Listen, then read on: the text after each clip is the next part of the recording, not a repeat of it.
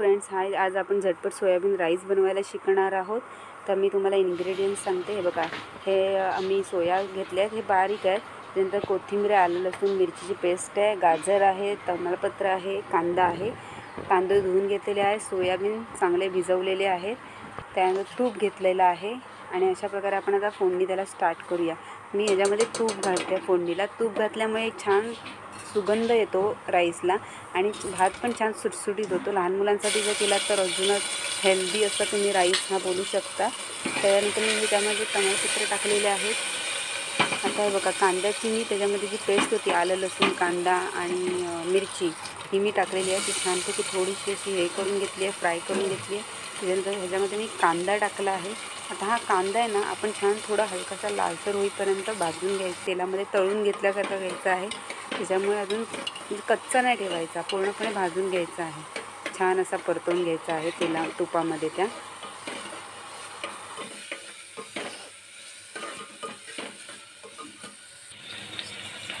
कांद्याचा कलर हलकासा चेंज झाला दिसतच असेल तुम्हाला. आता ह्या टायमिंगला आपण ह्याच्यामध्ये हा खडा मसाला माझ्याकडे नव्हता अवेलेबल सगळाच. म्हणून माझ्याकडे जो गरम मसाल्याची पूड होती ती घरगुती मी टाकलेली आहे ह्याच्यामध्ये. तुमच्याकडे अजून कोणता चे बिर्याणी मसाला असेल गरम मसाला तर तुम्ही टाकू शकता तुम्हाला जे मसाले हवे ते. मी मा छोट्यासाठी बनवत होती त्याच्यामुळे मी ह्याच्यामध्ये फक्त खडा मसाला यूज केला आहे. सॉरी गरम मसाला. त्याच्यामध्ये आपले जे सगळे खडे मसाले असतात त्याची सी फूड असते. त्याच्यानंतर मी याच्यामध्ये हे कॉर्न यूज केलेले आहेत.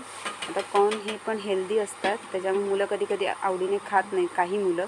तर आपण हे पण याच्यामध्ये टाकू शकतो. अजून आपण याच्यामध्ये हेल्दी फूड असे खूप टाकू शकतो. शिमला मिरची पण टाकू शकतो. गाजर मी मी गाजर टाकलं आहे आणि मक्या मक्याचे दाणे टाकलेले आहेत आहे हे. हे छान असे परतवून घ्यायचे. जे जे तुम्ही इन्ग्रेडियंट्स ह्याच्यामध्ये टाकताय ना कांद्यामध्ये ते छान त्या तुपाच्या फोडणीमध्ये कांद्यामध्ये छान असं परतवून घ्यायचे. आणि लास्टला एकदम जेव्हा हे बघा आता मी हे सोयाबीन जे सोप केलेले होते ते चांगले त्यातलं पाणी काढून टाकून ते पण आता ह्याच्यामध्ये टाकते आहे. हे चांगले परतवून घ्यायचे थोडा वेळ ठेवायचे. लगेच आपण पाणी नाही टाकायचं. आहे आधी त्याला चांगलं परतवून घ्यायचं. त्याच्यामुळे काय होतं चांगलं परतवल्यामुळे ना जो आपण मसाला टाकला आहे किंवा आलं लसूणची पेस्ट टाकली ना ती त्या सोयाबीनमध्ये ना चांगली लागते.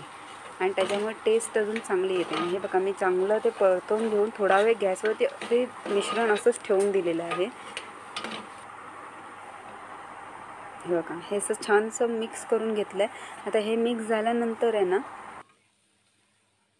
ठेवलेला राईस होता ना हा आपला टाकला आहे तुम्ही ह्याच्या ठिकाणी तुमच्याकडे जर बिर्या बिर्याणीसाठी जर कोणता दुसराही राईस असेल मी घरगुतीच राईस यूज केलेला आहे तर तुमच्याकडे अजून कोणता बासमती तांदूळ असेल तोही वापरला तरी अजून छान फ्रेग्रन्स येतो आणि खायला पण खूप अजून छान लागतं. पण तुपाची फोडणी असल्यामुळे तो खूप छान लागतो. आणि हे बघा आता हे मी ह्याच्यामध्ये पाणी ओतलेलं आहे. थोडंसं हलकं कोमटसं करून घेतलेलं आहे. कोमट केल्यामुळे काय होतं तुमचा राईस बनायला पण छान फटाफट हे होतं. जर घाई असेल तर गरम पाणी केलात आणि ते जर टाकलं तर खूप बरं होतं. मी हे गरम पाणी टाकून घेतल्यामुळे आता हे फटाफट होईल हा राईस. जास्तीत जास्त तुमच्या तीन शिट्या किंवा चार शिट्यांमध्ये तुमचा हा राईस रेडी होऊन जातो. आता तुमच्या माझा हा छोटा कुकर आहे तर मी ह्याच्या चार शिट्या केलेल्या. तर आपला अशा प्रकारे हा राईस रेडी झालेला आहे आणि खूप टेस्टी असा राईस झालेला व्हिडिओ पॅलेसला सबस्क्राईब करा आणि बेल आयकॉनवर क्लिक करायला विसरू नका.